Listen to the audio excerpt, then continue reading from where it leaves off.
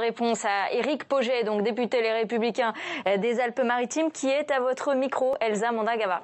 Exactement, le garde des Sceaux a fait la distinction entre le fou qu'il ne faut pas juger et le fou qui doit sa folie à la consommation de produits stupéfiants. Il annonce un projet de loi à venir. Est-ce que vous le voterez, ce projet de loi? Est-ce que cette distinction doit être faite? Alors d'abord, il n'est pas question de remettre en cause le principe fondamental dans notre droit de l'irresponsabilité pénale. Euh, le garde des Sceaux l'a dit et je partage son analyse, on ne juge pas les fous dans notre pays, c'est une avancée majeure de notre droit. Par contre, dans le cas qui nous intéresse sur l'affaire Alimi, le problème c'est la, la cause qui aboutit à l'abolition du discernement. Et en l'occurrence, on est dans le cas d'une consommation volontaire de drogue, en l'occurrence de cannabis, qui conduit à cette irresponsabilité pénale. Et moi, j'estime que quand euh, la cause, elle est volontaire, c'est un acte librement consenti, en pleine conscience, on ne peut pas s'exonérer d'un procès.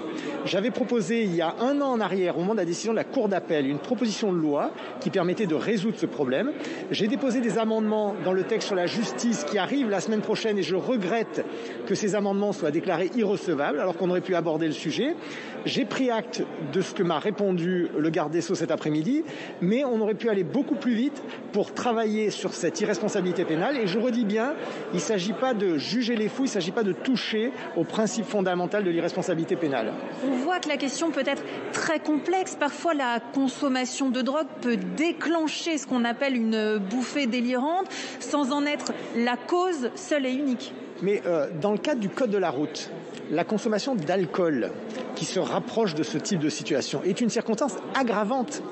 Pourquoi, dans un cas comme celui qui nous préoccupe, la consommation de stupéfiantes n'est pas une condition aggravante, mais empêche non pas le, la peine, mais empêche la tenue d'un procès Moi, j'estime que le fait qu'il n'y ait pas de procès, c'est tout à fait scandaleux, et quelque part, on a tué une deuxième fois cette pauvre Madame Alimi. C'est ça que je voulais dire dans l'hémicycle tout à l'heure, et sur la forme, je regrette que le président Ferrand ne m'ait pas laissé terminer mon intervention sur un sujet aussi grave, alors que les dix dernières secondes, c'était de rendre hommage à Sarah Alimi.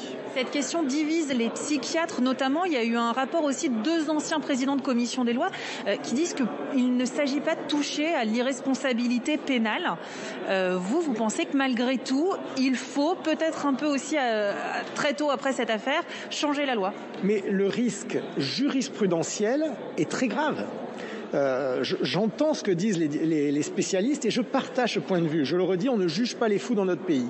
Par contre, lorsqu'il y a une consommation volontaire, que quelqu'un a décidé de se droguer, que c'est un acte librement consenti, il faut qu'il y ait automaticité d'un procès. Je ne dis pas qu'il y ait automaticité d'une peine, attention, mais automaticité d'un procès.